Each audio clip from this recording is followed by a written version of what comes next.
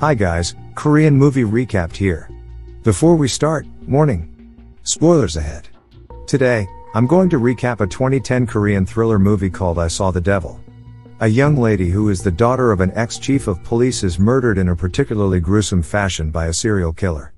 Unknown to that serial killer, that lady was recently engaged to a Korean secret agent. Can he escape his wrath? The story starts with Yo Yun, talking to her fiancé on the phone. Her fiancé is Soo Hyun, an agent for the National Intelligence Service. He is so busy with his job that he can't be with her on her birthday that day.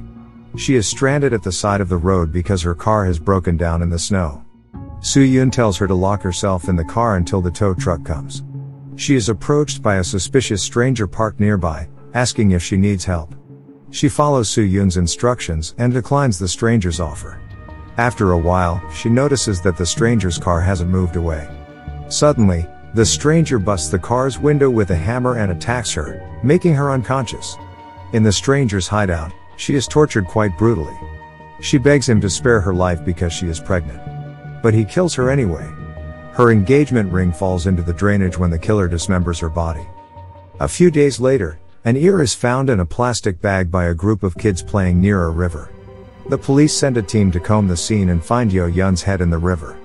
Her father, who is an ex-chief of police, is devastated by it. Soo Hyun arrives at the scene and witnesses his fiance's decapitated head. At the funeral, they both can't hold their grief. Soo Hyun regrets that he can't be there for her. But behind his sadness, lies a fire of rage.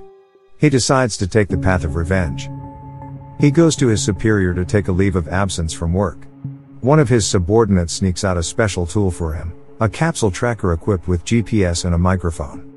Yo Yun's father gives him the investigation file that the police have so far on the case. They have four main suspects. This time, he will take matters into his own hands. He tracks the first suspect and meets him in his apartment. He beats him to get a confession. He confesses to killing another person, but he is not the one Soo Hyun is looking for. After handing him over to the police, he goes to the second suspect. Unfortunately, that person is not the one he is looking for too. He then goes back home, but he feels so frustrated that he can't even get some rest. He decides to do more investigation to track the third suspect. Meanwhile, the serial killer is on the hunt again. He kidnaps another woman and kills her. Soo Hyun goes to the third suspect's family to get more clues. Even his family doesn't know his whereabouts. He abandoned his parents and left his son with them. After talking to the son, he finally discovers the location of the third suspect's hideout. He searches the house and finds a bunch of women's bags, undies, shoes, and other accessories inside a locked cabinet. He also discovers a room with bloodstains on the floor. After further inspection, he manages to find Yo Yun's engagement ring inside the drainage. At that moment he realizes that he found the killer. The killer's name is Kyung Chul, a driver at a learning center. The police also find out about his identity and immediately rush there. But it's too late, he is already on the way to delivering the students home. The learning center tries to contact him, but he ignores it.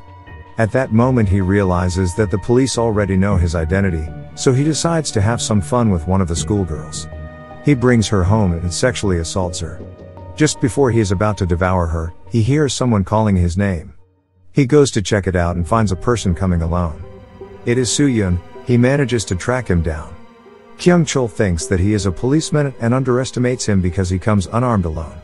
But unknown to him, he is no match for Soo Hyun, a secret agent. Soo Hyun easily takes him down and strangles him until he is unconscious. Soo Hyun plans to do much more than simply kill this psychopath. He nearly beats him to death, before relenting and shoving a GPS tracker down his throat, allowing him to see Kyung Chul's location in real time and listen to his conversations. After Kyung Chul regains consciousness, he finds an envelope full of cash. At first, Kyung Chul remains oblivious that Soo Hyun does not want him dead, but instead to suffer as much as humanly possible. He then goes for a walk and meets a taxi driver that offers him a ride. There is already a passenger inside. Upon getting in, and correctly guesses that the driver and passenger are two bandits intending to rob and murder him, he strikes out preemptively and kills them both. Afterward, he finds the body of the real taxi driver in the trunk. Kyung throws out all three bodies. He then drives to a nearby town to treat his injuries at a clinic. Feeling sexually frustrated because he fails to devour his last victim, he sexually assaults a nurse there. Soo Hyun once again intervenes and tortures Kyung slicing his Achilles tendon.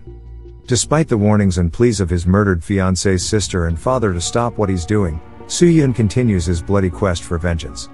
Once again, Kyung Chul regains consciousness and finds himself stranded in the middle of nowhere but still alive.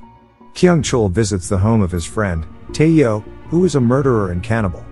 After explaining his situation to Tae Yo, Kyung Chul consequently deduces Soo Hyun's identity after recalling Yo Yun's engagement ring, which Soo Hyun had put on before attacking him previously. He plans to stay there for a while but Soo Hyun is already on the move. Just before Tae Yo is about to slaughter his victim to restock his human flesh supply, Soo Hyun comes and incapacitates Tae Yo along with his girlfriend, and beats Kyung Chul senselessly. The next day, Tae Yo and his girlfriend are arrested by the police and sent to the hospital. The police start to realize that Soo Hyun has gone rogue. Instead of bringing the suspect to the police, he toys with him. Soo Hyun's trusted subordinate arranges for Soo Hyun and Kyung Chul to evade the police and receive treatment for their wounds at a separate facility. The barely conscious Kyung Chul hears Soo Hyun and the subordinate talking about the transmitter. Soo Hyun releases Kyung Chul again, but this time he begins to catch on to Soo Hyun's MO. He goes to a nearby pharmacy and slashes the throat of a pharmacist while stealing laxatives which he plans to use to remove the transmitter. While doing this, he talks to Soo Hyun via the transmitter and promises him that he will show him the real pain.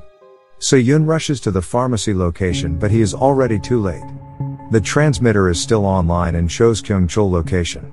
But it turns out that Kyung Chul already uses the laxatives to remove the transmitter then plants it on a driver at a truck stop that he viciously beats. Now, he can't track him anymore. Kyung Chul contacts the police, telling them that he plans on turning himself in, so Soo Hyun will be unable to touch him, but not before he finishes some business. Feeling lost, Soo Hyun enters Tae Yo's hospital room to question him and learns too late that Kyung Chul is going after Yo Yun's father. Angered, he breaks Tae Yo's jaw. Before Kim Soo Hyun is able to catch on to Kyung Chul's plan and warn him, Kyung Chul manages to get to him first and brutally attacks him with a dumbbell. Yo Yun's sister arrives at the house, not aware of the situation. He then sexually assaults her and leaves her for dead on the street.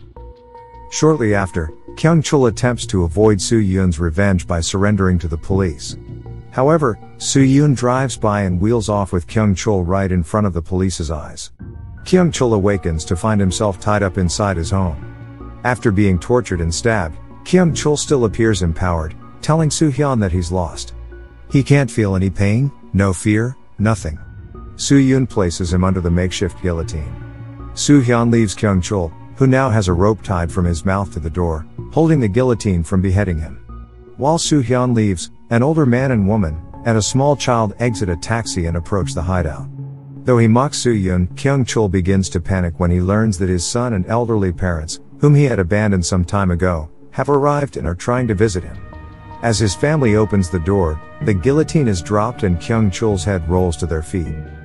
With Kyung Chul finally dead, Soo Hyun, who was listening through the transmitter some distance away, emotionally breaks down and begins crying in the street as he slowly walks away. He has fulfilled his promise to his fiancée and completed his bloody quest for vengeance. But is it all worth the price he paid? Subscribe to watch more videos like this, turn on notifications, and leave a like and comment to help the channel out. Thank you for watching, and see you next time.